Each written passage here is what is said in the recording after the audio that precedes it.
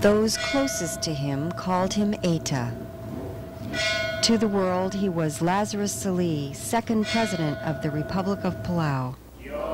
He presided over what may be the most turbulent and corrupt period in Palauan history. He will be remembered as Palau's second president and the second Palauan president to die a violent death in office.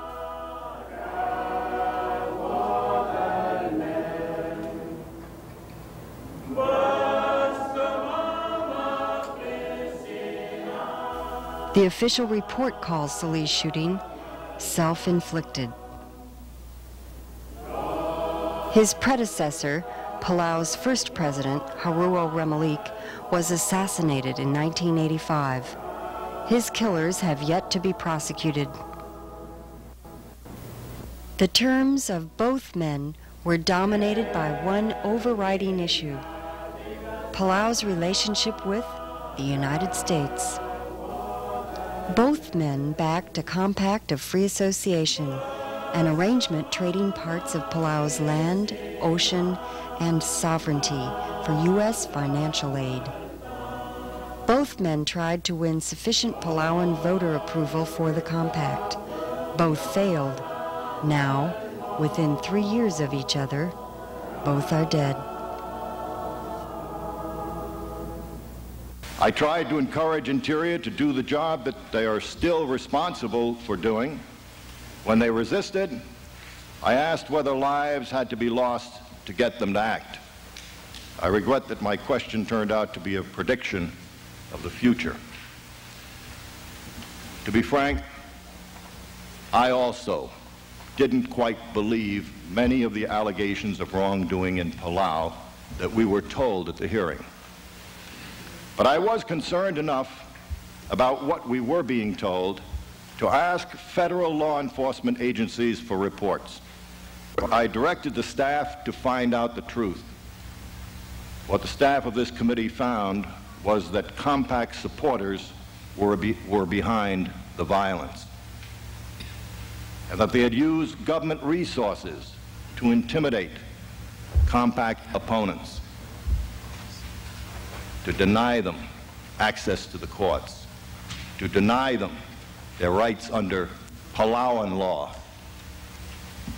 The most important uh, thing is that we go ahead and get democracy operating in these islands, in these territories. And this includes respect for the rule of law and access for all Palauans to their judicial system, no matter how sensitive, controversial, or unpopular This report looks at the impact American values and U.S. policies are having on the emerging Pacific democracy of Palau.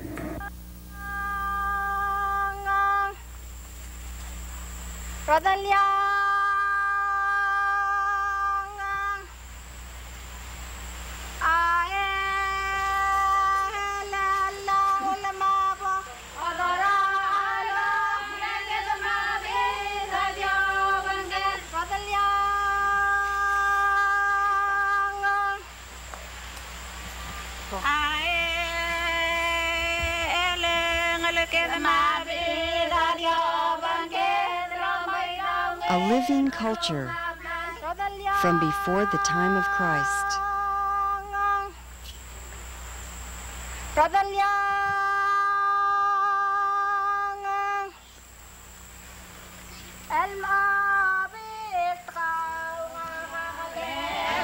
A nation born of the sea, wedded to the land.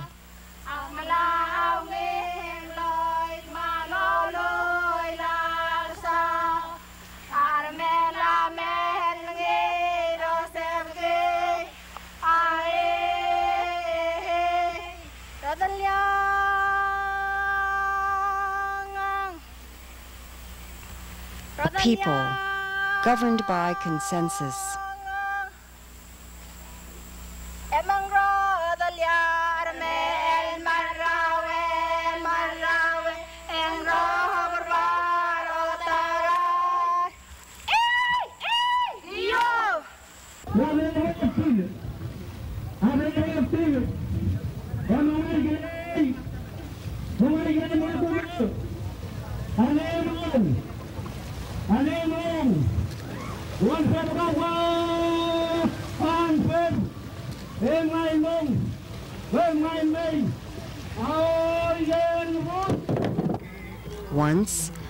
Society of complementary forces held in creative balance. Now, Palau is a country in the throes of transition. But to what?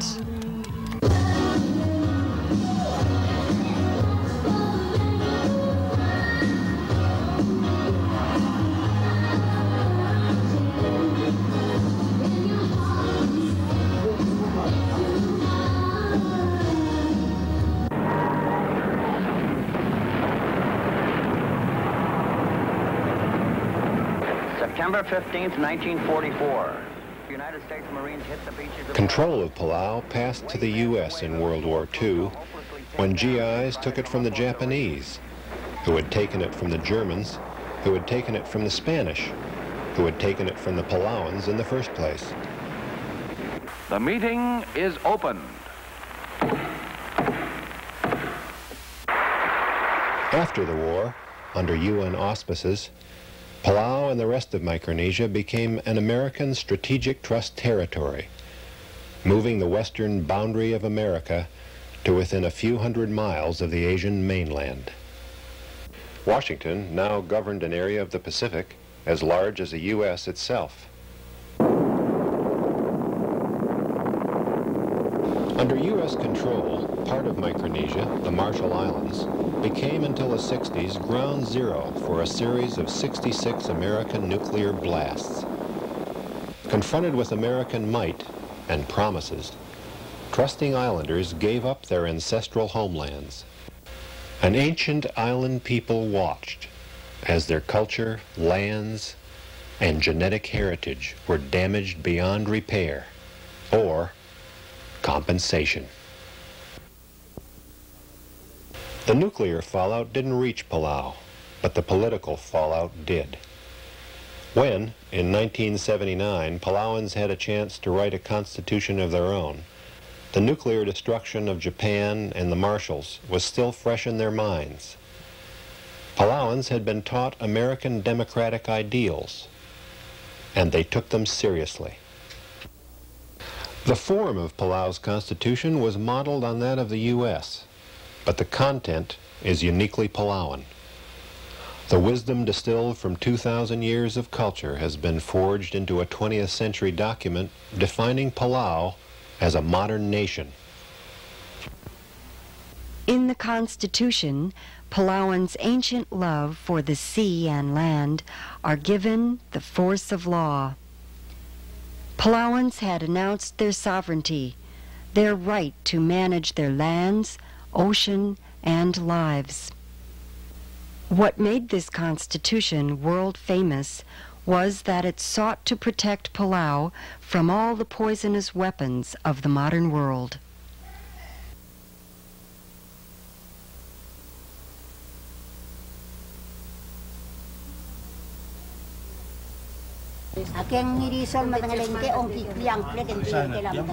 True to their tradition of rule by consensus, Palauan voters passed their constitution by 92%. They were serious about the toxic weapons ban. To lift it, said the Constitution, would take 75% majority approval.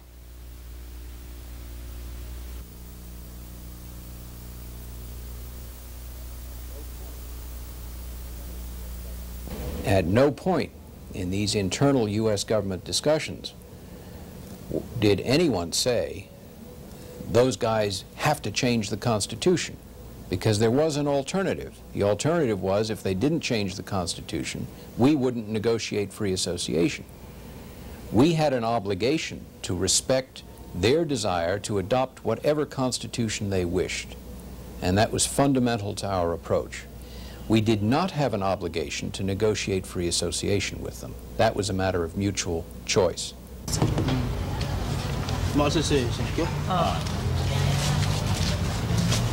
Forced to vote twice more on the question, Palauans were no more willing to change their constitution to please a foreign government than Americans themselves would be. They were practicing, they said, what Americans preached, democratic choice. They pointed to the UN Charter, to its guarantees of their rights to independence and self-determination. Still, Washington refused to take no for an answer. There were three topics which remained unresolved. Uh, the first of them was an effort by the framers of the Constitution to claim broad areas of what we regarded as the open sea uh, as territorial waters of Palau. Palau's constitution, in keeping with the international law of the sea, claims territorial waters within a 200-mile limit. But the compact, in effect, shrinks Palau's boundaries to only 12 miles from shore, cutting the island nation off from its basic ocean resources. The Law of the Sea Treaty provides, uh, which was signed in 1982, was that countries uh, have what is called an economic um, resource zone uh, of about 200 miles uh, from, uh, you know, offshore. And the United States um, trying to, uh, to ignore that or trying to limit uh, Palau's um, boundaries to just 12 miles is basically at heart fundamentally a denial or an attempt to foreclose um, uh, a claim by Palau to be sovereign. That's what uh, this, this amounts to because sovereign countries, uh, in fact, are entitled to 200 miles. And the United States has done this partly because the United States is not a signatory to the United Nations Convention on the Law of the Sea. And it just makes it that much more easy for the United States to do what it wants to do. And in this particular case, with respect to the, to the maritime boundaries, the big issue here is the, the unfettered deployment of the nuclear navy. Palau's constitution says Palau's government cannot acquire private land on behalf of a foreign government. But the compact gives the U.S. military the right to demand and get whatever Palauan land it wants within a matter of days. Since it was fundamental to the entire concept of free association that at some later point the United States might require for its defense purposes some uh, land in Palau, it appeared to us that a prohibition against the exercise of the right of eminent domain on behalf of the United States government would undermine the efforts that we were making to achieve agreement on, on uh, free association. It's the best provision we can get.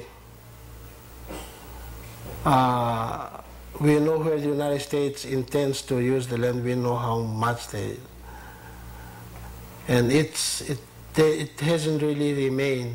I mean, the requirements have not uh, changed over the years. The native people, indigenous people of this country, the Great Turtle Island, alias the United States of America, have well over 360 treaties with the United States government, none of which are honored at this point in time. The treaties have allowed the Europeans to come in uh, and take over more and more land they continue doing this without any, any regard for the treaties that they have made. They have, uh, within the treaties, it this land will always be yours. And, but then when they find gold, or they find coal, or they find uranium, then it, it becomes what they call a national sacrifice area. It's simple mathematics. We got no money. And that's what I'm afraid. My wife is from Cleveland. I can go back to Cleveland with her. I can pump gas, okay? But what about these people here? Where are they going to go? This is it for them. And I love this place. I'm not going to move to Cleveland. That's a beautiful city, but it, I don't think they have a clean air for me. But the point is, we got no other place to go. The people in Cleveland can move to California. Okay? But we don't move anywhere. This is it. And we got no more money. We cannot get the hell out of here. What are we going to do? Being a woman, you give birth, and you know how hard giving birth is, and you know how hard life is. And you want to keep your land and your culture intact for your kids.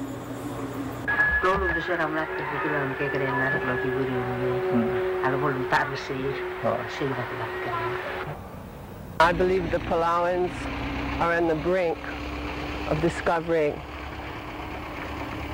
that their land policies um, may be influenced a great deal by a large nation like the United States, and that they no longer would be the owners of Palau, but may give up the right to their homeland. We have today in Hawaii the example of that kind of um, land tenure system that's changed drastically. We no longer are the keepers of our land. And I, uh, I am very afraid for Palauans and the land tenure system is theirs right now. Tomorrow, it may not be.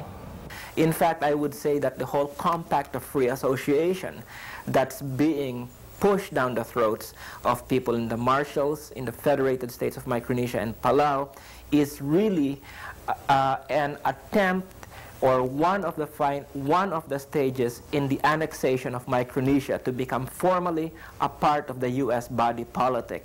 Uh, what we see being done, in fact, is one of the um, greatest colonial land grabs uh, in current history. From Guam and American Samoa in the Pacific to Puerto Rico and the Virgin Islands in the Caribbean, island people share an ambiguous relation to Washington. Neither states nor nations, they trade their sovereignty for the promise of protection. Our forward peacetime presence is represented by over 110,000 Navy and Marine Corps men and women serving in battle groups and battle forces, amphibious ready groups, submarine patrols, and other fleet deployments. This forward naval presence extends from Central America to West Africa, from the Mediterranean to the Indian Ocean, from the Sea of Japan throughout the Pacific, a visible reminder of America's commitment to our allies. There is a third problem, and perhaps some would say the most serious, that this constitutional provision raises.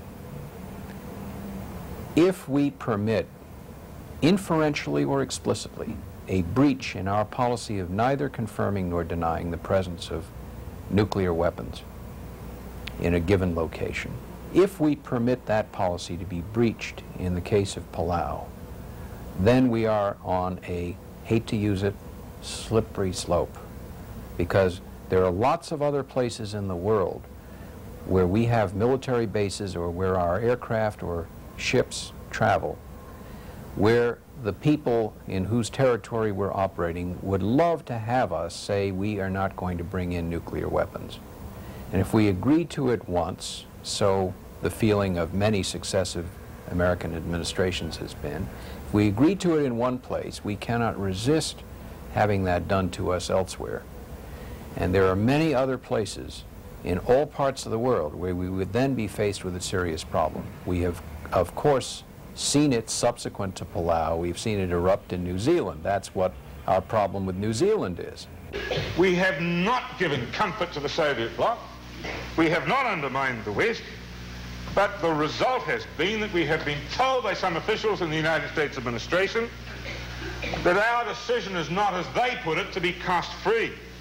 We are actually told that New Zealanders cannot decide for themselves how to defend New Zealand but are obliged to adopt the methods which others use to defend themselves. To compel an ally to accept nuclear weapons against the wishes of that ally is to take the moral position of totalitarianism which allows for no self-determination and which is exactly the evil that we're supposed to be fighting against. With advances in methods of destruction came advances in technologies of communication. More and more peoples are linked and informed worldwide. With increased awareness of the consequences, Pacific nations are no longer unquestioning hosts to the superpower militaries. Precisely because in reaction to the U.S. military buildup, uh, precisely in reaction to the sort of aggressive maritime strategy that has been pushed by the Reagan administration, um, the mood or the feelings or the drive for demilitarization and denuclearization have been increasing throughout the Pacific. And um, the example of the uh, Republic of Palau and its voting for a nuclear-free constitution uh, has proved to be quite significant. Palau is no longer alone. Since its Constitution's passage, 16 million American voters have made more than 153 U.S. cities and counties nuclear-free zones. Worldwide, there are now 4,000. Already, 15% of the Earth's people live in nuclear-free zones covering a quarter of the planet. Today I stand with the people of Palau, those supporting a nuclear-free Pacific, with all those supporting a nuclear-free Europe. We must make this a nuclear-free Earth and give peace a chance. Hard negotiations, mutually verifiable, deep cuts, and on to elimination, we must choose mutual existence over mutual annihilation. That's the thrust of our future and our leadership.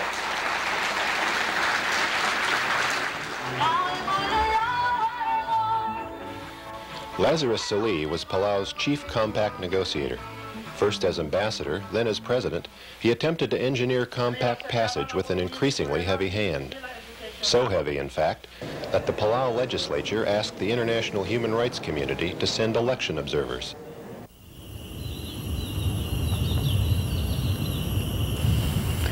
When I was uh, observing the, the, the voting, I uh, talked to an old woman and uh, she wanted to give a statement. And so she said, uh, um, Palau is, is, is like a sea, and we have big fish and we have small fish. The very small fish, that's the people, and when they go in groups, they, they are uh, a little bit stronger, and they are committees. And then there are a little bit bigger fish, and that's the, uh, the government uh, employees and their advisors. And then there's a very big fish, and that's the president. He chases all of them. And then there, but then there's a much, much bigger fish, and that's President Reagan, because he chases all of us. And then they said, she said, there's a, and there's also a big white bird flying high up in the air. It's flying so high that it can't see anything and it can't hear anything, and that's the United Nations. Won't you please ask them, she said, to look at us, to take care, and to see that we have a crisis with the United States and that we should not be alone in that crisis. I think it's uh, important we're here because I really think that lady is right. They don't see much. At least one eye is blind. Despite unresolved bottom line concerns, Palauans have been made to vote on the compact six times since 1983.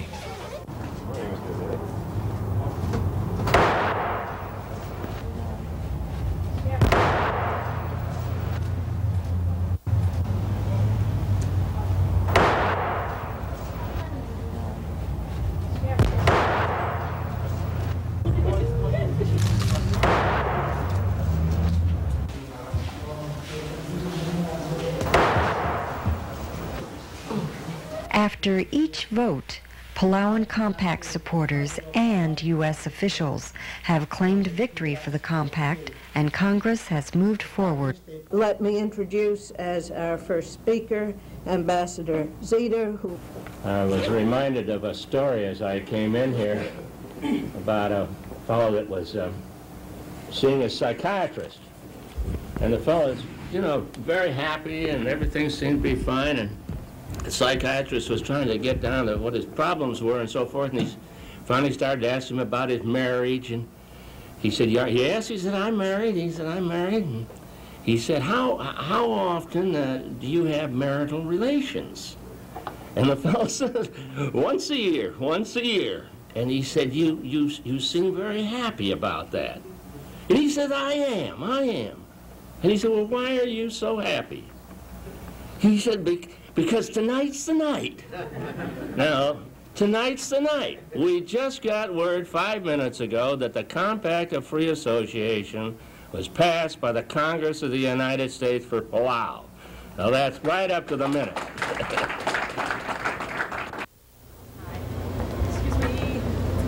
Constitutionalist attorneys have carried their fight to the courtroom. Each time, Palau's Supreme Court, under Chief Justice Nakamura, has upheld the Constitution. One key decision was made by Associate Justice Gibson. I felt that it was patent that the intent of the CONCON delegates was to make it well nigh impossible to, as the plaintiffs say, override the Constitution.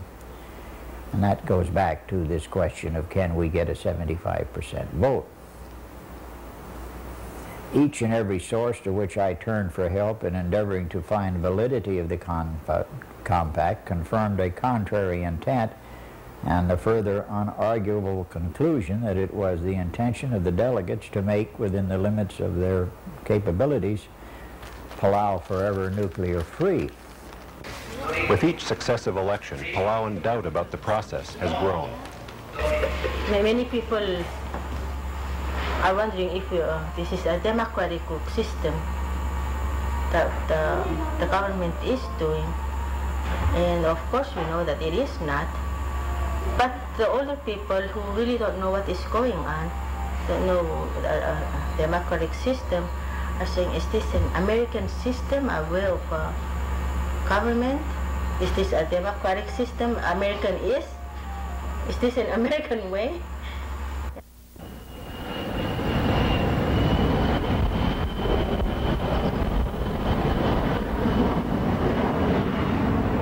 Why the pressure from Washington? Back in 1986, Congressman Stephen Solarz, chairman of the House Asia-Pacific Affairs Subcommittee, explained it this way. Well, in terms of the uh, nuclear testing uh, question at, at, Kwajalein, which is uh, one of our most important missile testing ranges in the world, uh, our lease on the Kwajalein missile testing range expires, I think, at the end of October. And uh, if we haven't implemented the Compact of Free Association with the Marshall Islands at that time, because Kwajalein is within the jurisdiction of the Marshall uh, Islands, uh, we would then have to renegotiate the agreement. In the meantime, uh, some of the residents of the area might take matters into their own hands.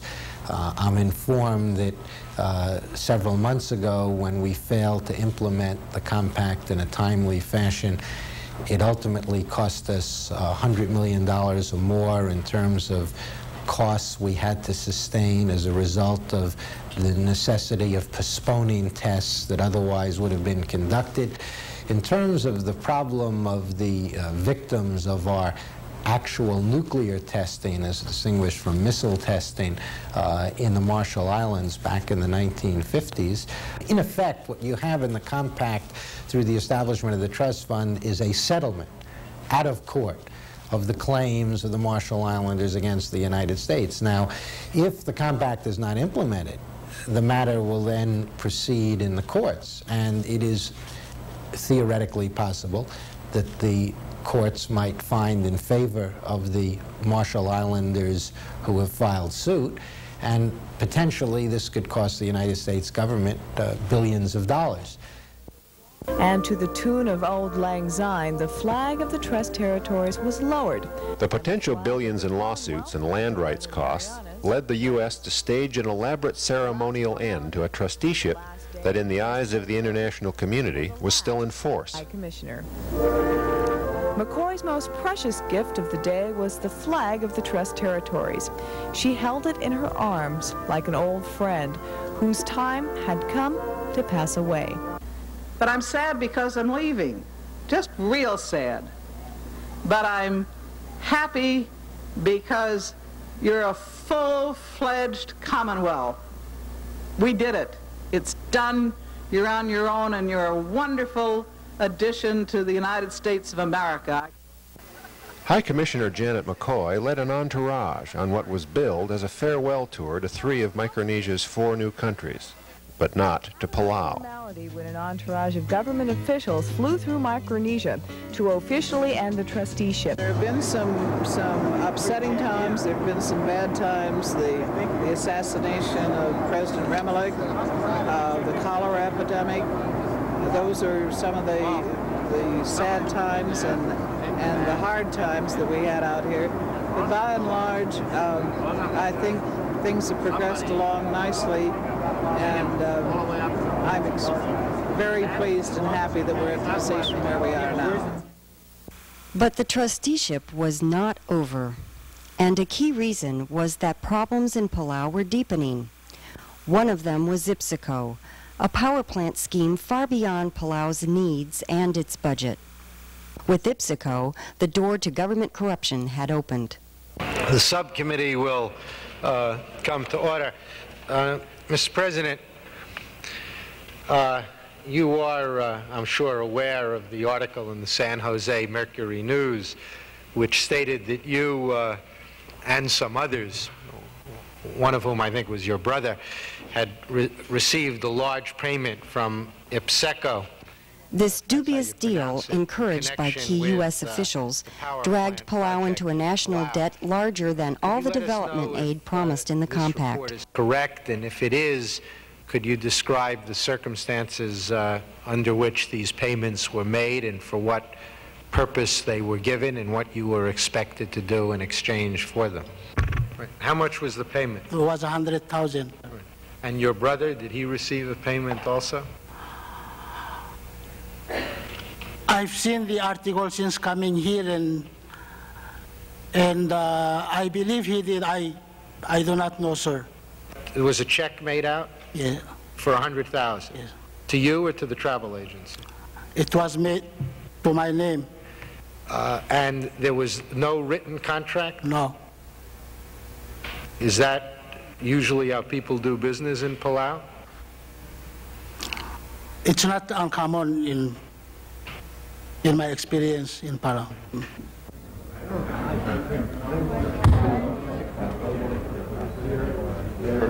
let me just, I'm going to Okay. The hearing will come to order. Two months ago, the President transmitted to Congress the certification that the Compact of Free Association had been approved in accordance with the Palau Constitution and that the United States will be A desperate Salii administration needed compact money to pay its debts. It pressured Palau's voters to amend their constitution so that nuclear ban could be lifted and the compact passed by a simple majority, not 75 percent. Women elders who challenged this tactic in court were terrorized.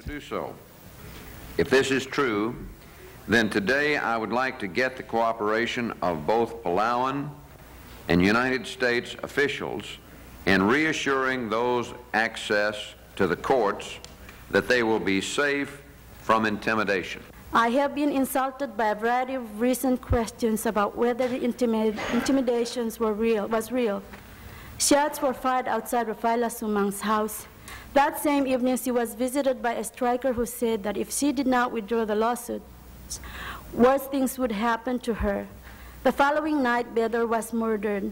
The same night that Bedor was murdered, a firebomb was ignited on my land, blowing up in the rear of my house, sometimes between 10.30 and 11, after the government turned the power off in all of Palau. What, what would you have this committee do? What do you think we should do? What uh, our group wants your committee to work on is that to keep the Congress from ratifying the Compact of Free Association until we resolve the internal court process. Well, but a suit hasn't been filed yet. We will. Was, uh, I've just told you that we, we definitely would uh, file a lawsuit. And when will that be done? What's the hurry? it's our future. The women elders did refile their lawsuit. They and other Palauans called on Congress and the United Nations to respect Palauan rights and sovereignty.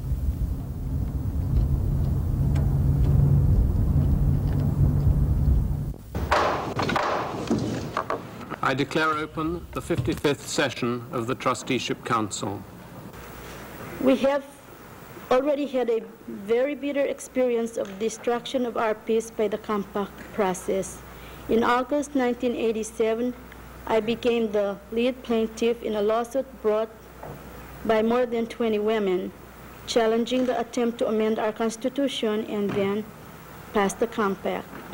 We, persist, we persisted in the lawsuit until a ser series of violent acts culminating in the murder of Mr.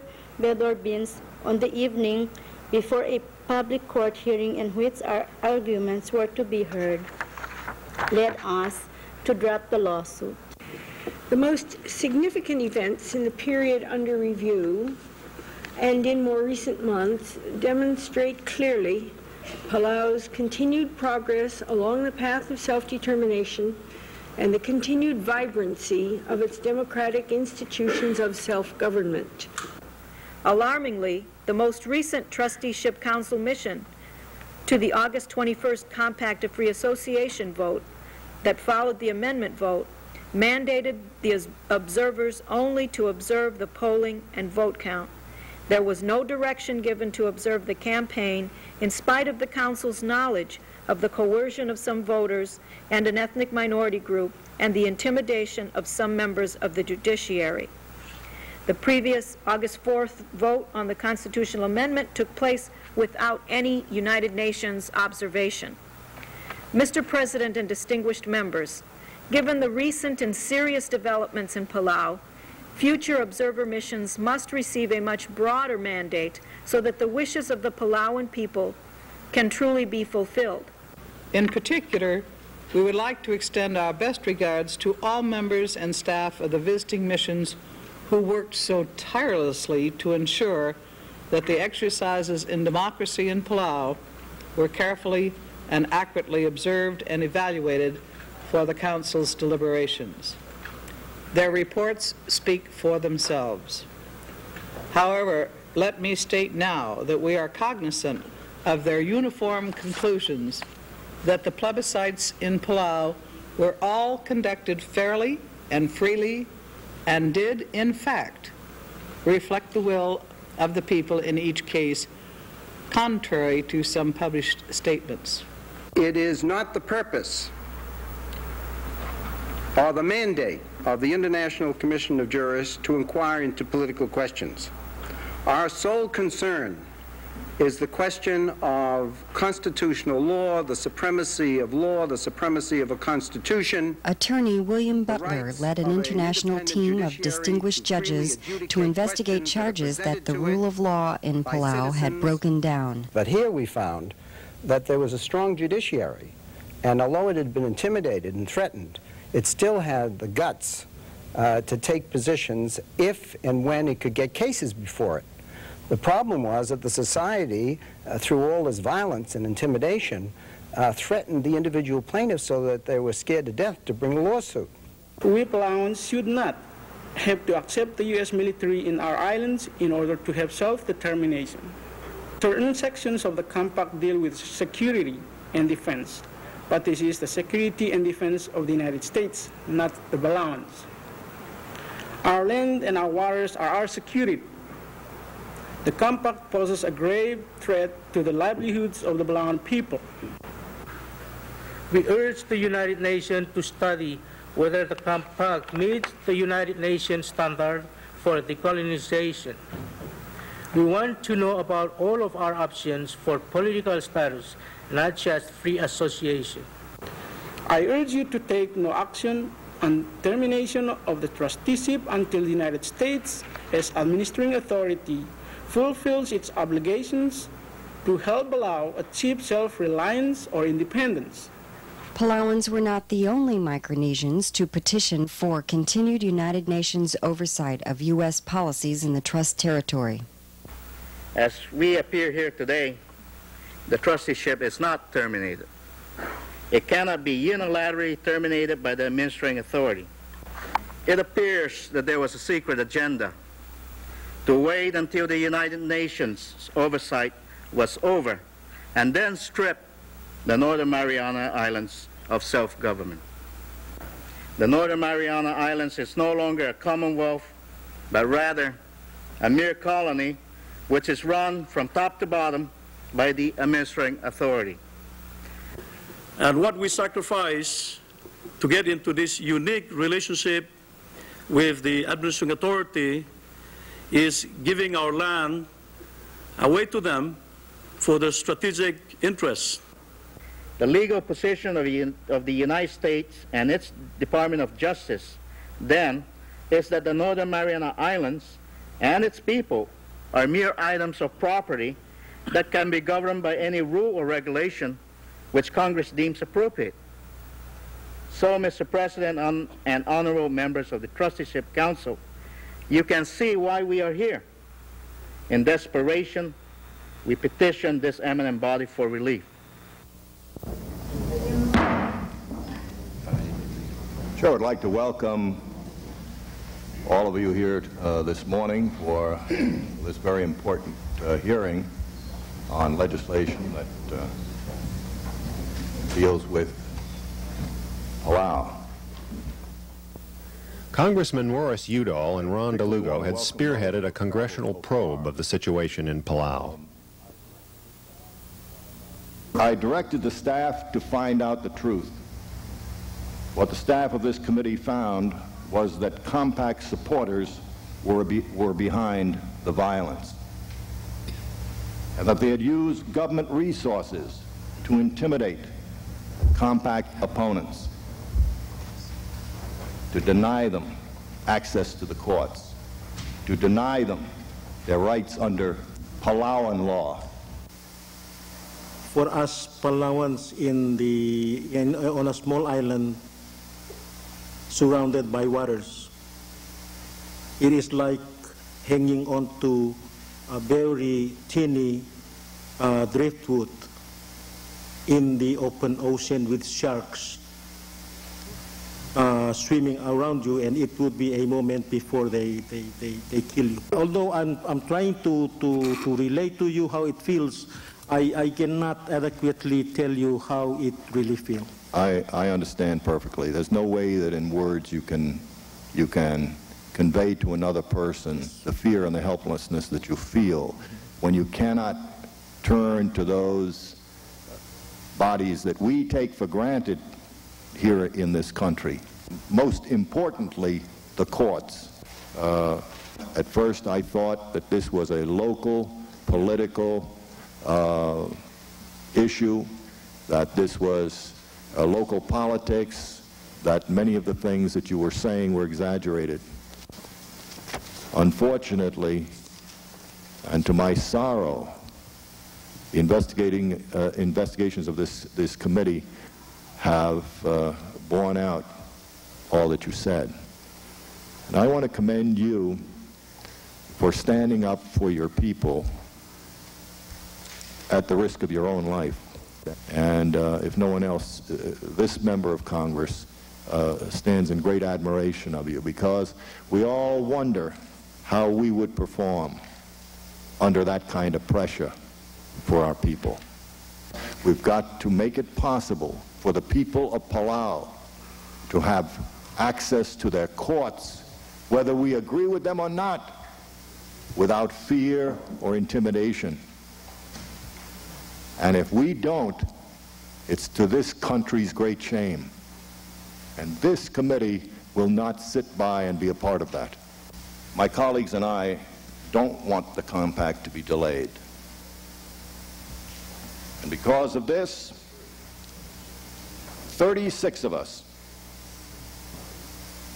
have introduced the bill that we will hear testimony on today. The joint resolution introduced by Congressman DeLugo didn't change Washington's bottom line on the compact, but it did add more money to the deal, some of which would fund Palau's unfilled offices of public auditor and special prosecutor to probe allegations of corruption. It was opposed by both the Reagan and Salii administrations. I hope it is clear to everyone concerned that this bill offers the only chance of getting the compact approved by the United States something that I would very much like to see happen very soon. This is not an oversight hearing into Palau's problems. But the motives of anyone who opposes a thorough investigation of Palau at this time are sus suspect. While it is very tempting for us at this time, while looking at the benefits we are so attracted to, the funds, the money, we are also fear of the consequence that can occur that may place the people of Palau in the hands of the United States for indefinite time. As far as we, the people of Palau, are concerned, the guiding star for all the process for the implementation and approval of the Compact of Free Association is our Constitution, the Constitution of the Republic of Palau. Then the question is, if this resolution is approved or adopted by the Congress of the United States, to us, we the Palauan, would that in any way counter to or in conflict with any provision of our Constitution? Did you support the compact implementation without the provisions of this bill? No. Would you support implementation based on this bill? Definitely yes. Without this bill, could the people of Palau or the United States be assured of a prosecutor and auditor being in place during the life of the compact? I don't think so. I, uh, this, the Constitution has been in existence uh, since 1981 and nothing has been done with regard to this public auditor. The Special Prosecutor Office was created some three years ago and in spite of our requests, and, and you know, no, in, no enthusiasm has been shown. What I'm saying here is that having this law enacted to force Palau to have the public auditor filled because the United States want it filled, I think is a short solution to the answer. Let I me think, interrupt I right think, there. I think it's we're the not, Palau we're not people. filling this because the, the government of Palau, I mean the, the people of the United States or the government of the United States wants it. The government of the United States is here. They're going to come in on Tuesday and oppose it. It's the people of Palau that want this, that have petitioned this committee and petitioned the government uh, of the United States to have these positions filled. Mr. Chairman, I did not say that the people of the United States want this position filled. I said if anybody wants this position filled, it's the Palauan people. Now, what I am saying here is that if the United States force us to fill them through this legislation, it is a short solution. The problem in Palau is a problem for the Palauan people to answer. They must answer their own questions. Only the Palauans, I believe, will answer their questions permanently.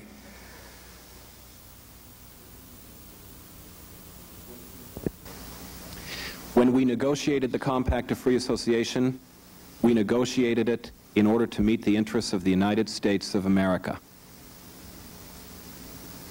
We did not ask Palau for a wish list of everything they might want. They certainly provided us with one during the negotiations, but we did not ask for it because we weren't negotiating for Palau, at least those of us in the American delegation, we were negotiating for the United States. We believe that the amount of money that's in the Compact of Free Association, that's guaranteed to Palau when the compact comes into effect, over the entire 50-year period of the compact relationship, is more than adequate. But tell me something, has the administration investigated whether it was proper for a former deputy high commissioner of the trust territory and a former counsel in the office of, of uh, Micronesian status negotiations to go to work for IPSECO after leaving government? Um, excuse me. Mr. Chairman, this whole question of uh, the contractual and employment relations that uh, IPSECO may have had and uh, what it did and when and, and U.S. officials' involvement has been given a lot of media attention and a lot of attention here.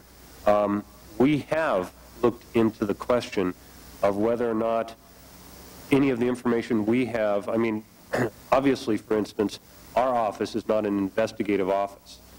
But to, as uh, uh, in, our, in our capacities and in, in connection with our responsibilities, we have looked at the question, and we're not aware of any activities by former uh, counsel to the Office for Micronesian Status Negotiations or by the uh, former Deputy High Commissioner or by anyone else, including Ambassador Zeder, that um, are in conflict with uh, the government of uh, uh, ethics and government law.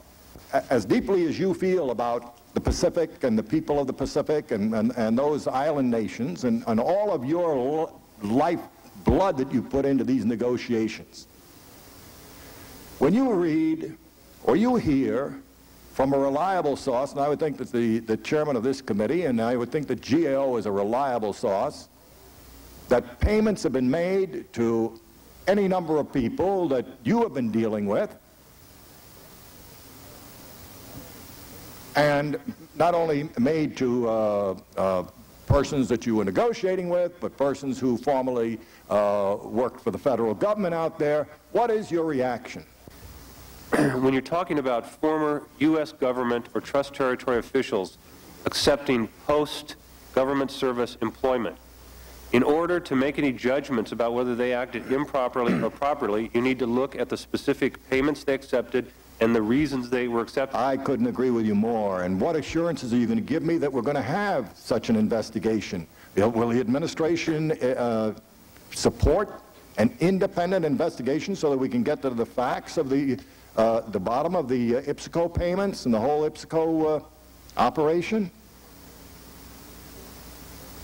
To the extent that evidence... You don't care? You don't? No, I certainly do care, sir. Um, you just don't care? As, you, your only concern is the, is, the, uh, is the passage of the compact. You don't care what the hell goes on out there in Palau? Other than that, you don't care uh, the, fact, uh, the fact of the matter that that uh, heads of state have received payments. You don't care that uh, there, has, there was a breakdown in law and order. From what I have heard today and what I have heard in my visit to Palau, and from all sides of the people of Palau, I am convinced that the people of Palau, all the people of Palau, want honest and democratic government. But Palau is a small community, and it is subjected to all kinds of pressures. And it is our responsibility to give them a fighting chance. Yes, we have our priorities too. The Defense Department and the State Department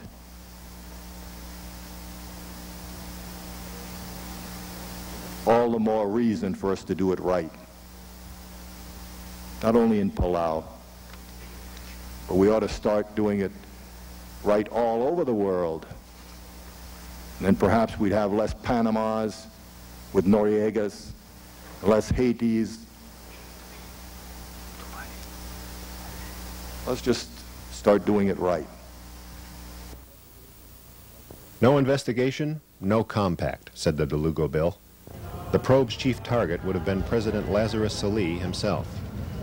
On August 20th, 1988, he was found with a bullet in his head. The official ruling? Suicide. The compact's author had become another of its victims. What now for Palau?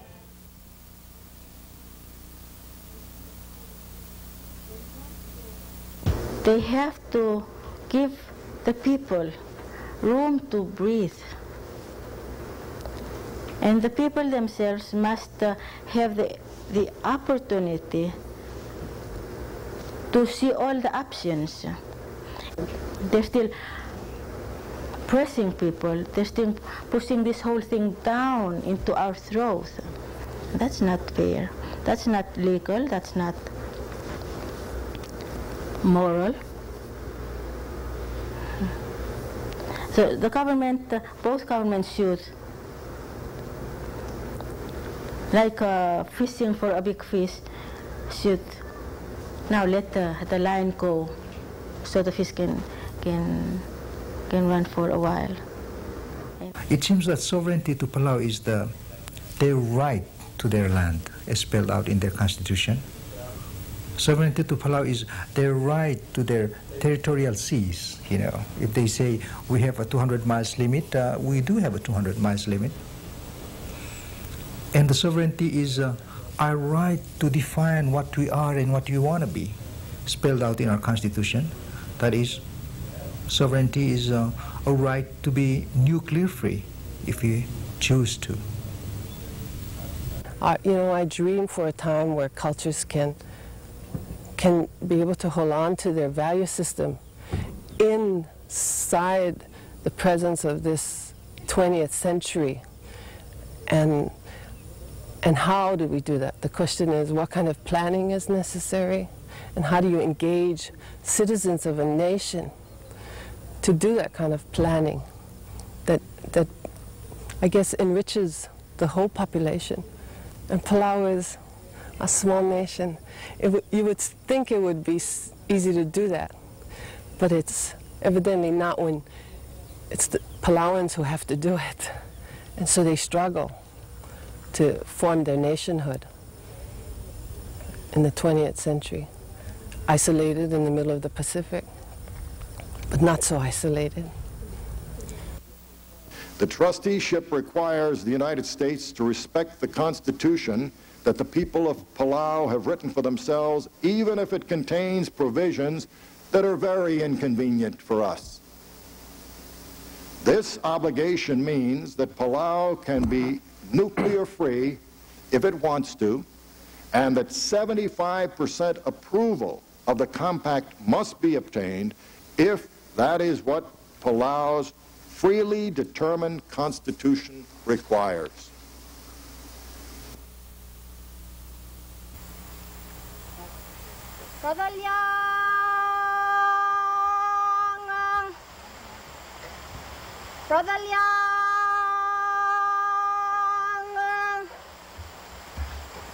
em nghiêng lời kẻ đu bàn có ra lên lại vai về đu nghiêng lẹ lại đây ai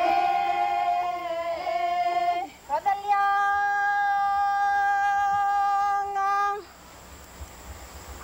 có tên liang